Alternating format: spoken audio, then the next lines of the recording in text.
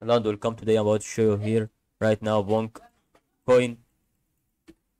So let's see how can this be going okay? Right now 28 december.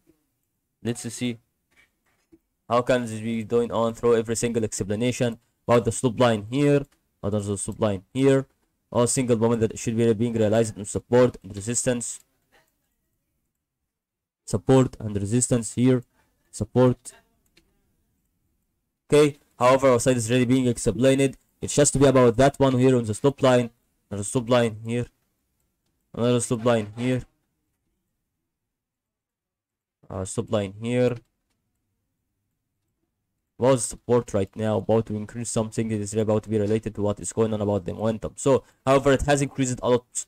And then we are waiting it to decrease. So it has been decreased actually on that way okay however we have to wait for one week and it has decreased. So it will increase a little bit on this trend line and then decrease okay? So you wait it to understand okay? There will be absolutely a significant red uh, green candle right here.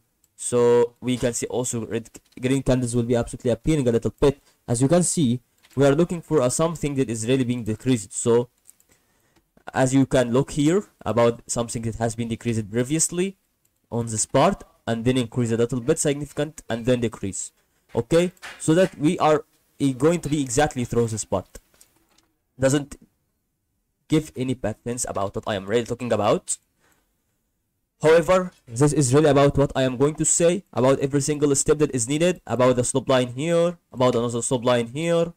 And that is absolutely an opinion that will help you in every single data that should be about be explained and focus it on something like what I am going to tell you about.